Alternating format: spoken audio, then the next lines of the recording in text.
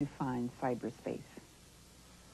Cyberspace is um, metaphorical idea, uh, which is supposed to be the space where your consciousness is located when you're using uh, computer technology on the internet, for example. And uh, I'm not entirely sure it's uh, such a useful term, but I think that's what most people mean by it. How does that strike you? I mean, that your consciousness is located somewhere other than in your body. Well, the, the, the most interesting thing about the term, for me, is that it made me begin to think about where one's consciousness is when uh, interacting with other kinds of media. For example, even when you're reading, where where are you? What is the space in which your uh, consciousness is located? And when you're watching television, uh, where uh, where are you? Uh, who are you? Because people say with um, the internet, for example, it's a little different in that you're always interacting, or most of the time, with another person. And when you're in cyberspace, I suppose you can be anyone you want. And uh, I think, uh, as uh, you, this uh, program indicates, it's worth it's worth talking about because this is um, a new idea and uh, something very different from face-to-face co-presence with another human being. Do you think this is a good thing or a bad thing, or you haven't decided? Well, no, I, have uh, mostly, I've mostly decided that uh, uh, new technology, uh, this kind or any other kind, is a kind of Faustian bargain. It always gives us something important, but it also takes away something that's important. That's been true of uh, the alphabet and the printing press and telegraphy right up through the computer. For instance, uh, when I hear people talk about um, the uh, information superhighway, it will become possible to shop at home and bank at home and um, uh, get your texts at home and get entertainment at home and so on. I often wonder if this doesn't signify the end of any uh, meaningful community life. Uh, I mean, when two human beings get together and they're co-present, there is built into it a certain responsibility we have for each other.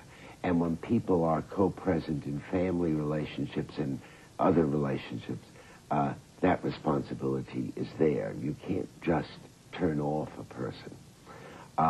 On the internet, you can.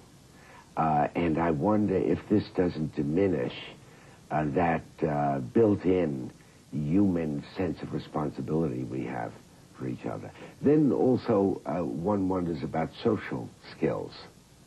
That, after all, talking to someone on the internet is a different proposition from being uh, in the same room with someone. Not in terms of responsibility, but just in terms of uh, revealing who you are and, and, and discovering who the other person is. As a matter of fact, uh, I'm one of the few people, uh, not only that you're likely to interview, but maybe even ever meet, who uh, is opposed to the use of um, personal computers in school. Because school, it seems to me, has always largely been about how to learn as part of a group. School has never really been about individualized learning, but about how to be socialized as a, as a, uh, as a citizen and as a human being.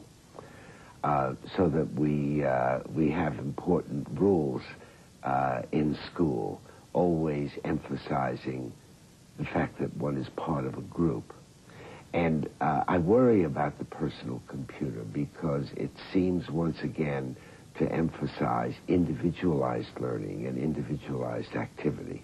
What, what images come to your mind when you, when you think about what our lives will be like in cyberspace?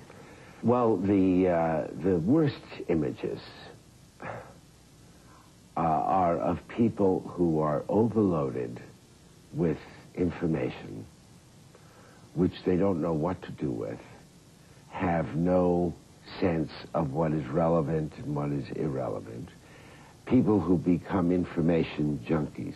What do you mean? Do you Well, mean the the uh, the the problem in the 19th century with information was that we lived in a culture of information scarcity, and so humanity addressed that problem, beginning with photography and telegraphy in the 19th in the, the uh, 1840s.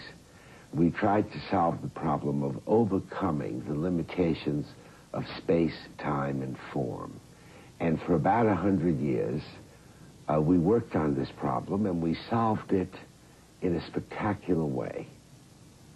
And now, by solving that problem, we created a new problem that people have never experienced before. Information glut, information meaninglessness, uh, information incoherence.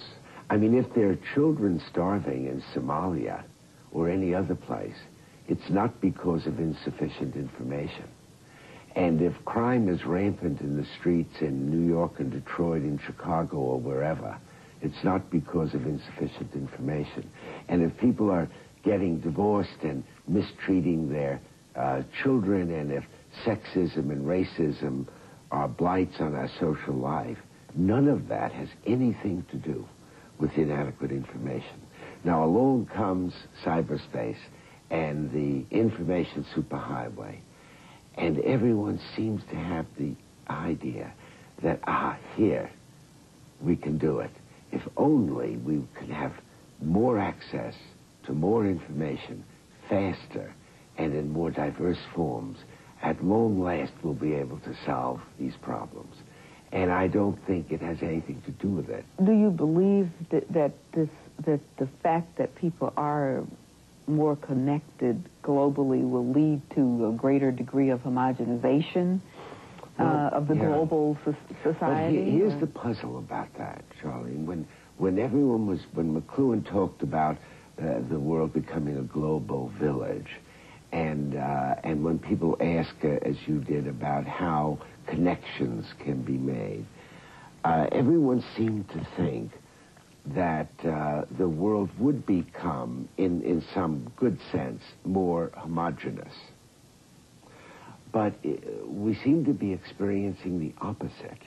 I mean, all over the world, we see a kind of reversion to tribalism. People are going back to their tribal roots in order to find a sense of identity. I mean, we see it in Russia, in Yugoslavia, in uh, in Canada, in the United States. I mean, in our own country.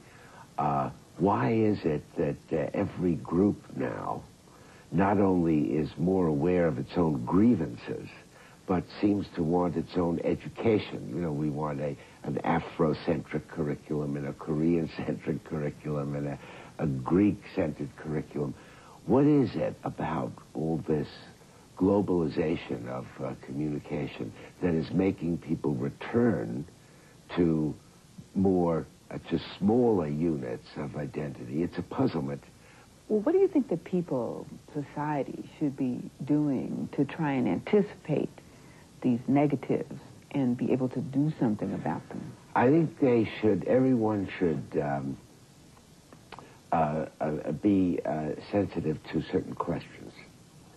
Uh, for example, uh, when a new, confronted with a new technology, whether it's a cellular phone or uh, high definition television or cyberspace or internet, the question, or one question should be, what is the problem to which this technology is a solution? And the second question would be, whose problem is it actually? And the third question would be, if there is a legitimate problem here that is solved by the technology, what other problems will be created by my using this technology? About six months ago, I bought a, a, a new uh, Honda Accord, and the salesman told me that it had cruise control. And I asked him, what is the problem to which cruise control is the solution. By the way, there's an extra charge for cruise control. And uh, he said no one had ever asked him that before, but then he said, well, it's the problem of keeping your foot on the gas. And I said, well, I've been driving for 35 years. I'd never found that to be a problem. I mean, am I using this technology or is it using me?